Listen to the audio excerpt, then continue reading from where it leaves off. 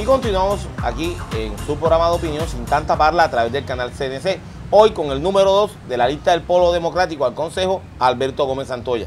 Doctor Alberto, el tema de recreación y deporte. ¿Qué lineamiento y cuáles son los ejes básicos que tiene Polo Democrático en su lista del Consejo para ofrecerle a la ciudad de Cartagena? Bueno, como ya te lo dije, eh, fundamentalmente rescatar los espacios públicos en los distintos barrios de los sectores populares para la construcción de, de polideportivos que permitan que los jóvenes tengan donde acceder en sus horas de ocio para poder resolver ese problema lúdico que es una necesidad y así los muchachos no tienen que acudir a la drogadicción a otro tipo de, de funciones en donde sus espacios lo utilizan de manera inadecuada. El Polo Democrático en estas elecciones cree que los aspirantes a Consejo y Gobernación no son los que se merece la ciudad. ¿Por qué el voto en blanco? Bueno, el voto en blanco lo definimos primero porque nosotros no apoyamos a personas, apoyamos a programas.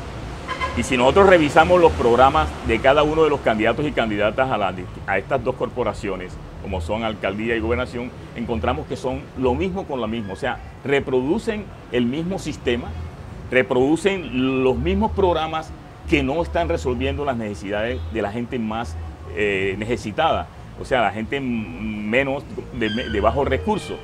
En segundo lugar, observamos también que la mayoría de estos señores que están actualmente reciben una financiación de sus campañas con grandes sumas de dinero que han convertido los espacios electorales en negocios. Yo no, yo no entiendo, por, por, ejemplo, un alcalde que gana 10, 12 millones de pesos mensuales, que en sus, cuatro, en sus cuatro años no alcanza a reunir más de 700 millones de pesos por concepto de esos pagos y le invierte 10 mil, 20 mil millones de pesos a una candidatura a la alcaldía, ¿de dónde va a sacar el dinero para reponer eso? Entonces, eso quiere decir que es a través de las contrataciones o a través del saqueo del erario público, como va a recuperar eso y, sobre todo que le quede también parte del dinero.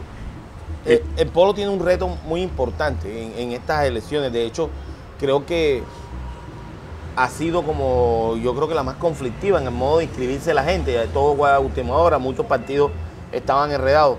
¿Cuál es ese reto que tiene el Polo Democrático en esta nueva elección?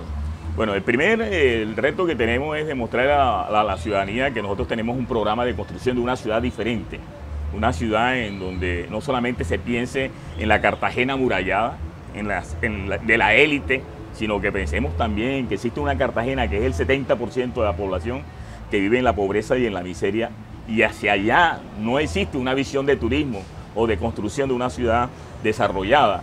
Entonces necesitamos que se piense en la Cartagena total, global, integral.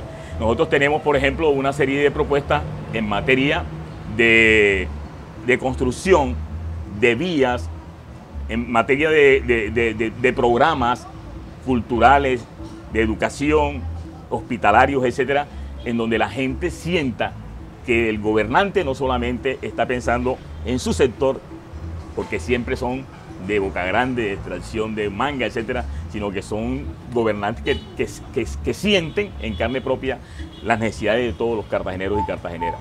Entonces, es un reto porque pensamos aumentar eh, el número de curules que tenemos, no solamente en el Consejo, sino en las localidades. Tenemos unas listas para la JAL muy buenas con representantes de jóvenes y de personas adultas que han prestado toda la vida un servicio social a la comunidad y, consecuencialmente también pensamos regresar a la Asamblea con uno o dos, dos curules para como diputados y con ese tipo de equipo, con ese grupo de personas, desarrollar entonces la implementación de nuevas medidas, de nuevas propuestas para construir un departamento y una ciudad diferente.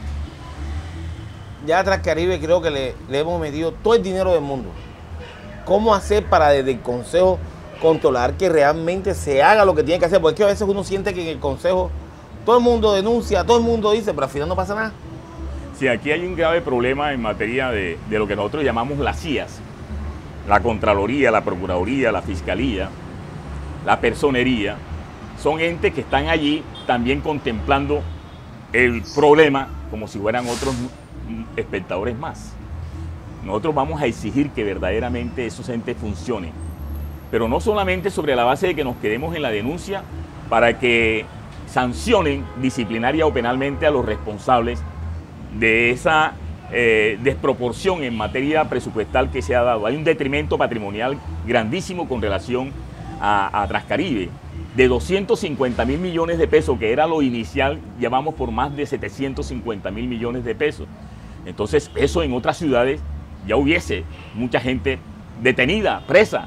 Pero nosotros creemos de que no solamente el problema se debe quedar ahí, sino que se debe propender para que esos recursos se recuperen de tal manera que esos dineros que están en el bolsillo de pocas personas realmente se beneficien al conjunto de los ciudadanos y ciudadanas porque no hay obras de infraestructura que verdaderamente le podamos mostrar al resto del país. Por ejemplo, yo no sé si tú te has dado cuenta que en Barranquilla, en Montería, en Santa Marta, en Medellín, en la misma Bogotá, se ve el dinero del impuesto que pagan los ciudadanos y las ciudadanas. Aquí en Cartagena vemos que hay esa obra de, pavimentación, pero se convierten en reparchos. Eh, eh, en la mayoría de las ciudades desarrolladas o subdesarrolladas, pero que avanzan, hay puentes elevadizos construidos de manera muy hermosa para evitar el problema de la movilidad y sin embargo aquí lo que hacen es quitar los puentes, como el puente de Basurto, y desarrollar un sentido de semaforización que lo que hacen es provocar menos movilidad, o sea, más trancones.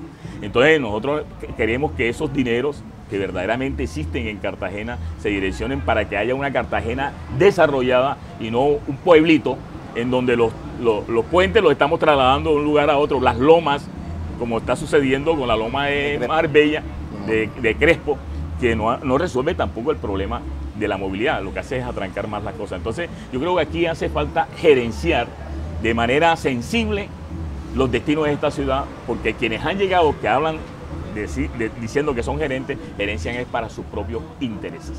Tema de servicio público. Todos los días se va a la luz constantemente en barrios barrio de la ciudad. ¿Cómo hacemos para que desde el Consejo se pueda sentir esa voz de protesta y esa voz que que a veces no tiene voz y que la gente grita, pero en silencio, de que hay que darle una solución a los servicios públicos en la ciudad de Cartagena, sobre todo de la luz, por ejemplo. Bueno, yo, yo pienso que en lo de los servicios públicos tenemos que desarrollar una revolución. Y es que los servicios públicos nuevamente regresen a poder del Estado. Aquí se pensó que cuando se iba a privatizar el agua, la luz, el transporte, eso iba a ser la panacea, porque supuestamente los sectores privados mm, mm, gerencian mejor. Y es todo lo contrario. Además de que gerencian mal, pues se han convertido en saqueadores de los bolsillos de los ciudadanos porque las tarifas no las controla nadie.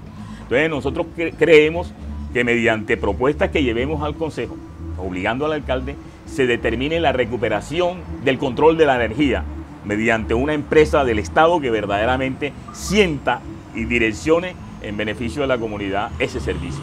Lo mismo con el aseo, lo mismo con la educación, que también se está privatizando porque usted ve que están construyendo unas grandes mega obras y, piensa uno que es para entregárselo a un rector nombrado por la Secretaría de Educación y sin embargo eso lo gerencia, son entidades privadas que tienen su negocio porque ellos perciben un lucro y no beneficia a la comunidad en general.